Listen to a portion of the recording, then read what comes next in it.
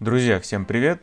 Сегодня у нас еще одна подборка полезных советов и хитростей, которые можно применить как в мастерской, так и в гараже или даже дома. Поехали! Я думаю, у многих случались такие ситуации, когда к одному удлинителю подключена куча инструмента, и понять, какая вилка от какого инструмента уже невозможно, так как все провода перепутались между собой, а надо, например, отключить лобзик, который больше не нужен, а вместо него подключить освещение – придется на поиски потратить время. И вот из-за таких мелочей за целый день реально теряется много времени. Так вот, чтобы закрыть этот вопрос, нам понадобится изолента или скотч, желательно ярких цветов. А теперь берем первый инструмент и обматываем скотчем часть провода у вилки и часть провода у инструмента тем же цветом.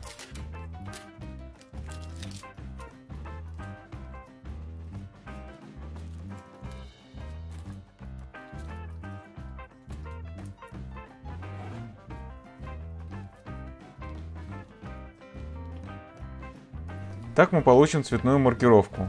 И посмотрев около удлинителя на цвет маркера и сопоставив этот цвет с инструментом, можно сразу понять, что отключать можно, а что нет. Не трать время на распутывание и поиски. Если цветов мало, а инструмента много, то можно делать по несколько полосок, либо чередовать цвета. Кстати, у всех ли быстро получается попасть наждачным кругом на платформу шлифмашинки, так чтобы вентиляционные отверстия совпадали? У меня лично быстро не получается, и иногда приходится по несколько раз переклеивать.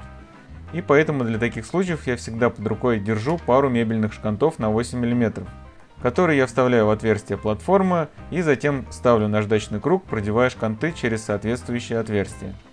Вообще вспомнилась одна идея со шкантами и такими наждачными кругами. Для демонстрации этой идеи возьму кусок фанерки и обведу на ней наждачный круг с парой отверстий. Затем все вырежу.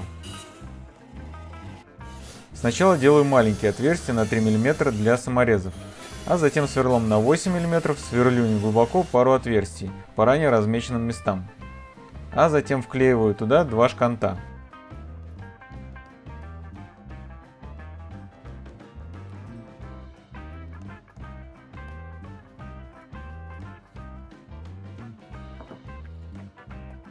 И теперь прикручиваю самоделку к стене. Получился очень удобный держатель для наждачных кругов. Можно сделать несколько таких для разной зернистости.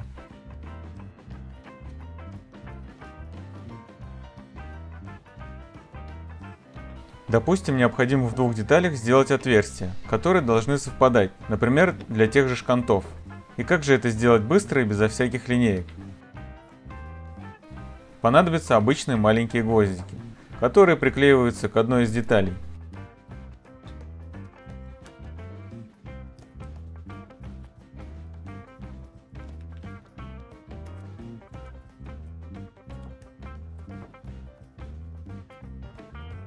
Затем вторая деталь примеряется к первой и после примерки просто простукивается.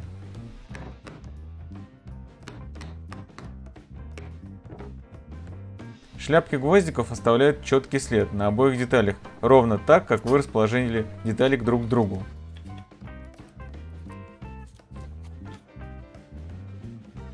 И теперь можно насверлить отверстия и проверить, совпадут ли они. Я специально сделал побольше отверстий, чтобы убедиться, что метод рабочий.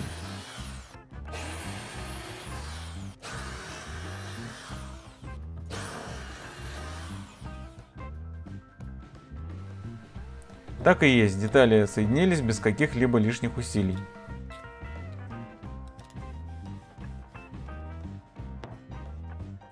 Иногда при укладке финишного покрытия на пол, того же ковролина или линолеума, то есть материал, который не требует оставления зазора, хочется сделать укладку вплотную к стене без щелей, а стена не очень ровная. В интернете я нашел решение этой проблемы с помощью простой шайбы, которую ведем карандашом вдоль стены, повторяя все изгибы. Но есть у такого способа один недостаток. Например, в местах вот таких резких порожков шайба делает скругленную линию, и соответственно получим щель. Чтобы такого не было, можно воспользоваться обычным циркулем. Устанавливаем на нем размер чуть больше самой широкой щели и ведем его, прижимая к стене и к застилаемому материалу.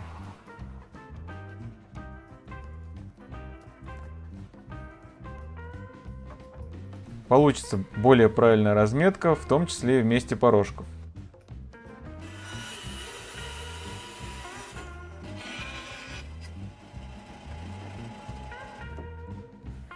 Друзья, вот такое коротенькое видео получилось. Надеюсь, информация оказалась для вас полезной и вы нашли для себя что-то новое. И если это так, то ставьте лайк этому видео и напишите в комментах, какой или какие именно советы вы не знали. Те, кто не подписан на канал, обязательно подписывайтесь и жмите на колокольчик, чтобы не пропускать новые полезные видео. Всем спасибо за просмотр и пока-пока.